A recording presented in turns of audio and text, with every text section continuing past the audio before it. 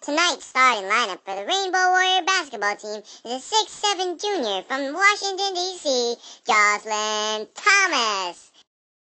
Next, a 6'6 junior from Portland, Tennessee, Hauns Brereton. And at forward, a 6'10 junior from Somalia, Portugal, Vander Joaquim.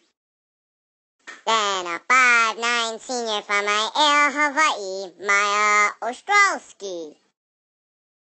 And at guard, a six-six junior from Phoenix, Arizona, Zane Johnson.